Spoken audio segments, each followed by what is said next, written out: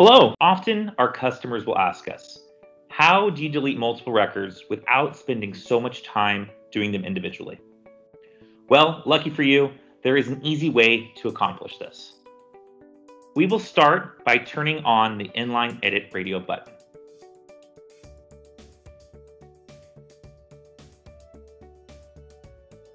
Once you turn this on, you will see a pencil icon right here. Now your field is inline editable. Click on the list record. Hold the shift key on your keyboard.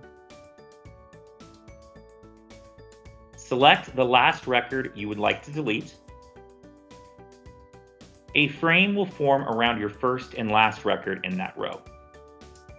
Simply hit backspace or delete and you will see a message pop up top. Click OK. Congratulations, you have now mass deleted records. Just a heads up, not all transaction types are inline editable. If you have any questions, please feel free to reach out to us at marketing at alphabold.com and stick around for other videos where we can help you with other tips and tricks in NetSuite.